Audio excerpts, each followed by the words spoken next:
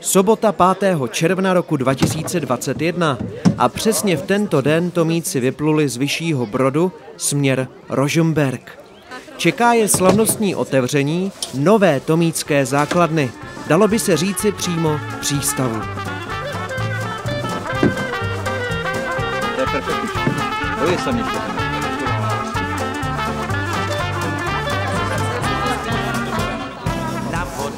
jezdím jenom s Vendou. S Vendou. Do káno je nevlezu už s Vendou. S Vendou. Venda. Nemožný je zadáke, nemá Tři, dva, jedna. Výborně. Tomici, na Vltavu. Že kvete bílý pes a že mostem sloumá ves. Vodáci měli stras ve Vyšším Brodě. Odtud vyplouvali na kánojích petlbordech a někteří odvážlivci si neváhali osedlat nafukovacího velblouda. Dovedete si představit, že na tom někdo sjede řekou? Já tedy ne. A přece jsou mezi námi takový. Kdo na tom jede? Pinda, Honza, Kudr, kdo dál? Donky, rozlučte se s těmi lidmi, už je nikdy neuvidíte. Se původně chtěli jet na Plameňákovi, ale plameňák bohužel nebyl dodaný, tak jsme udělali alternativu a je akce karavana.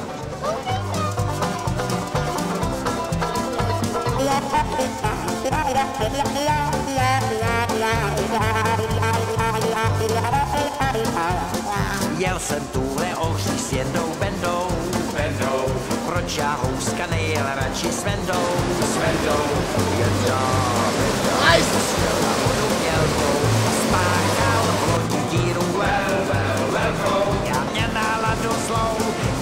your game.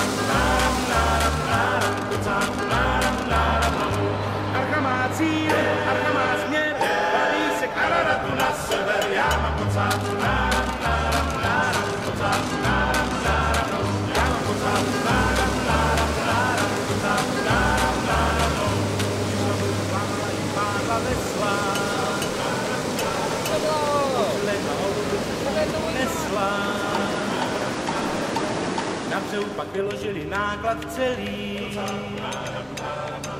Ještě, že tu starou dobrou archu měli.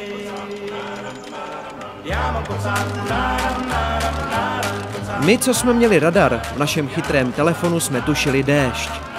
Kdo si na vodě ale pospíšil, ten byl v suchu. Mezi prvními v Rožemberku byl třeba Aleš Sedláček, předseda Rady dětí a mládeže. Po deštivém vylodění ale vodáky čekalo vřelé přijetí a hlavně z Brusu nová základna, která se stane chloubou Tomíků.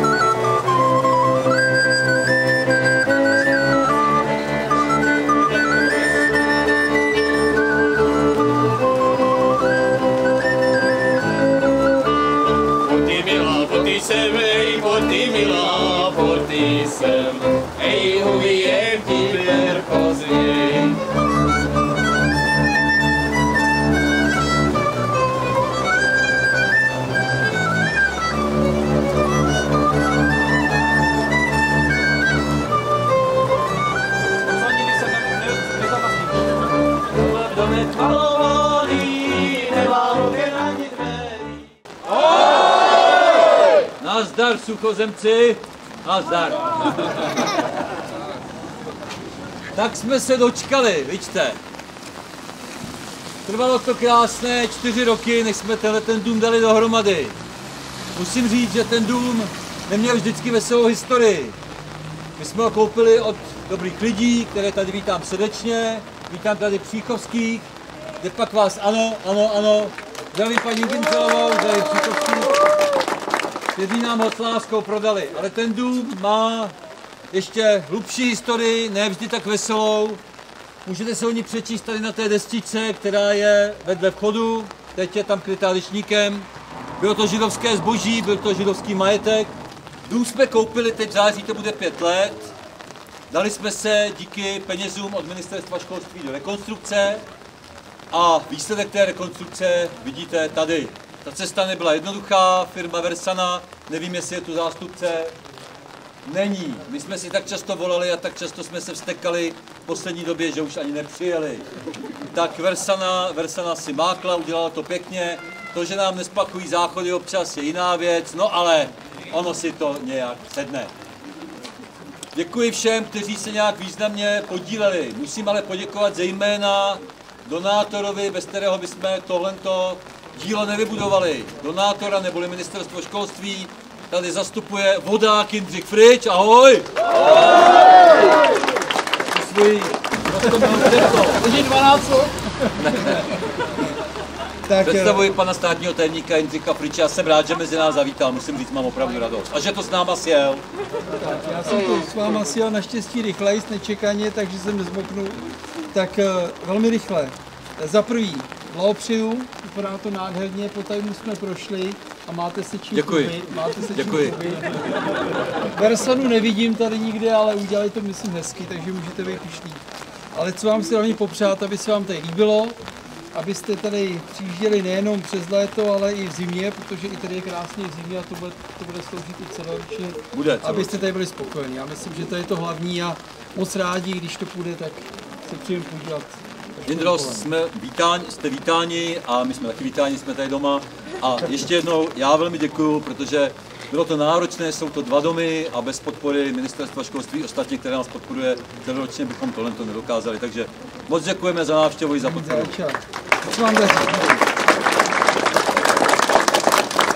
Velmi nám tehdy pomáhali dva nebo tři lidé. Já rád vzpomenu na Jana Stráského, dívá se na nás turistického nebe, ale vzpomenu na zde přítomného pana předsedu Havelku, který se také přimlouval, aby nám ten dům prodali, ale oni nám ho neprodali, tak a to už jsem říkal. Eh, Architektkou, která trpěla v mé telefonní smrště občas, je Radka Šindelová. Radka s náma dělá všechny domy a tohle, přátelé, tohle, alespoň za mě, je dům poslední. Za mě také. Za Radku taky, tak. Jsou to ale i šikovní řemeslníci, kteří dům vybavovali. Architekti další, kteří, kteří prostě se na něm podíleli. Jak bych to vzal? Ivoš, hop, je tu. Joury a Kasky. Chlapci vybavili dům nábytkem, myslím tím novým nábytkem, těmi postelemi. Nic lepšího jste neviděli, krásně se na nich spí. Je to paráda. Přátelé, všechny ty hry a zvíčky, všechny ty eh, krásná překvapení, která uvidíte za chviličku, to je dílo Tadeáše. Tadeáš je člověk, který mm, nejlépe pracuje pod tlakem, takže poslední tři neděle byl úplně přepumpovaný. A ještě je pořád, ale já mu děkuju, protože těch nápadů, a nebyly všechny u vína spolu, prostě bylo jich hodně. Nesmím ale zapomenout na další řemesla. Vidím tu člověka s deštníkem. Směje se, zde stojí, ránu byste od něj dostat nechtěli.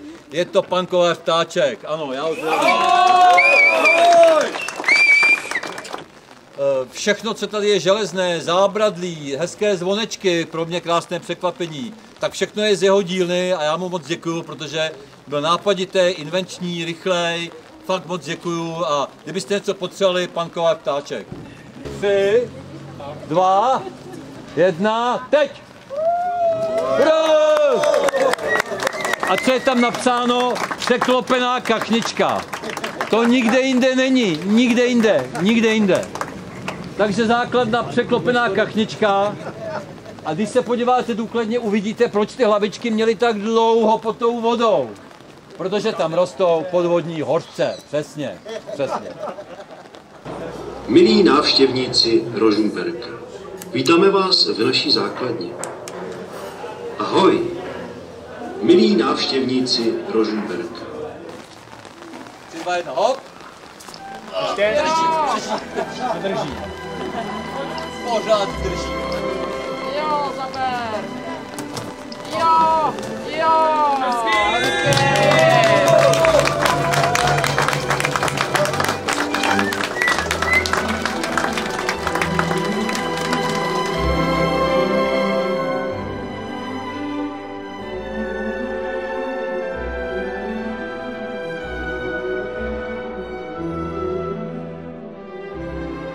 Sice těch základen už je opravdu hodně, takže to je docela náročné to všechno zpravovat, ale díky Tomášovi se to všechno úplně krásně zvládá a tahle základna úplně zase vybočuje z řady všech těch ostatních a je krásně u řeky, takže bude skvělá pro vodáky a je tady opravdu kus historie i hnedka nad základnou v podobě toho zámku.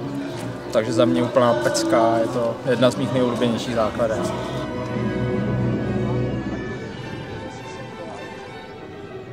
Je to nádherný. Je to úžasně udělané a mně se moc líbí ty prvky staré, které tady jsou. Myslím, že pro děti je to velmi zajímavý a vzdělávací prostředí. Tak mně se líbí, že se na tom podíleli nejenom firma, která realizovala samotnou rekonstrukci, ale že se zapojili Tomíci jako takový, že se zapojila spousta brigádníků a spousta dalších eh, řemeslníků, kteří pomohli tady tu krásnou stavbu dát dohromady a my jsme samozřejmě moc rádi, že jsme mohli z prostředku ministerstva školství přispět na to, aby ta rekonstrukce vypadala tak, jak vypadá. Mohli Tomíci, ale i další organizace používat eh, tuto základnu pro celoroční činnost.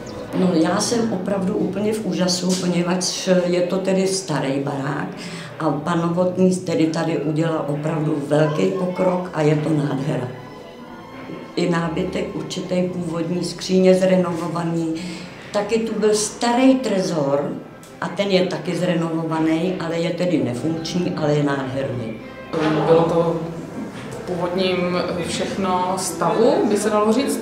Třeba půda nebyla vůbec využita, nevím, jestli už jste na půdě, takže se vkládaly jako nové, nové příčky, ale do, do starého domu krásného a nové to využití, nová hygiena. Tady byla jedna koupelnička, jedna toaleta, takže pěkný, pěkný dům, mám ráda, když jsou věci, které se prodlouží život a mají svou genialoci. No, takže to obložení je z původních desek, zde z domů dochovaných.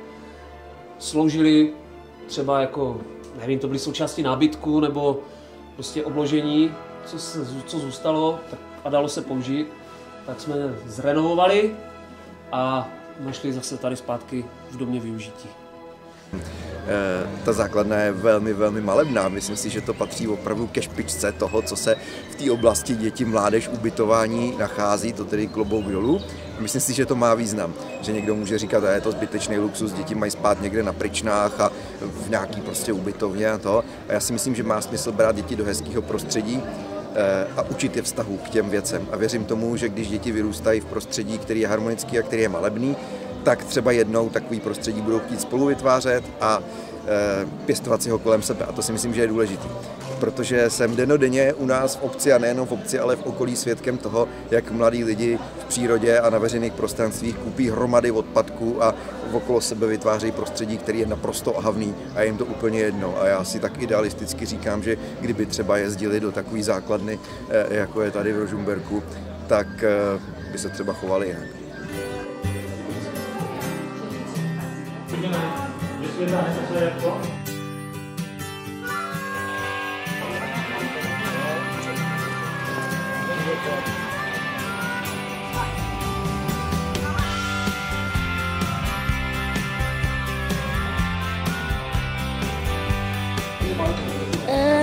Líbí se mi na tom,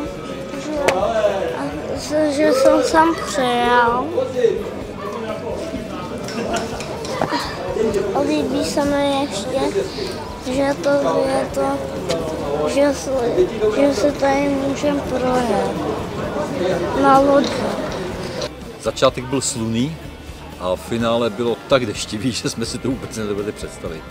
Moji dva skvělí háčkové, totiž Matouš Votova a Kubík Šejtka, makali, akorát vždycky, když flákl blesk a hrom se rozezněl, tak poskočili na tom háčku a poslední dva kilometry byly v obrovském dešti, ale jinak jsme se to užili, necvakli jsme se, krásně jsme to sjeli a hlavně jsme byli srdečně přivítaní čepicema, zástěrama, máváním, voláním sláva. No a teď jsme majitelé tohoto krásného domu.